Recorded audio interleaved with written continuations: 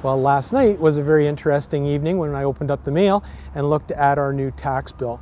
And it has gone up by $2,000 a month over the first half TIPS payments that we were previously making up until what will now be July 1.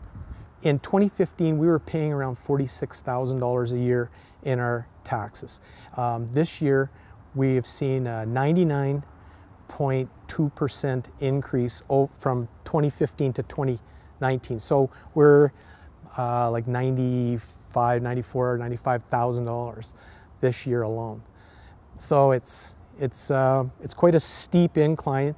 Uh, if you look at it, know, over five years, we're paying over 20% compounded annualized increases, and you know, when you you hear the city talk about, well, we're trying to be revenue neutral, we're trying to, you know, limit these increases to taxes, you know, in the 5% range, it's not that, it's not the inflation rate, it's, it's substantially more. And um, unless there's a justification of how, you know, they can continually ask for more and more money on basically what's happening is a, a shrinking uh, tax base, it's, it's not sustainable. And our assessment is fair. I believe that the value that they placed on our property isn't isn't the problem, it's the mill rate.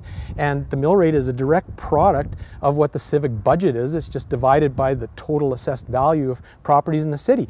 And what they've done is, uh, as they say, it's a tax shift because the value of the buildings downtown have gone down. But unless you reduce your budget accordingly, you have to live within your means. And, and what they're trying to do is, uh, you know, basically as, as I would look at this, if I was an employee, it'd be like going to my boss and saying, hey, I, I want to buy a new fishing boat. I, I need a raise.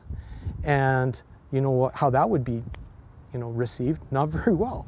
And so that's what's happened. I feel the city's come to me uh, and my contemporaries and said, uh, hey, we want to build a new field house and a new arena and we want you to pay for it.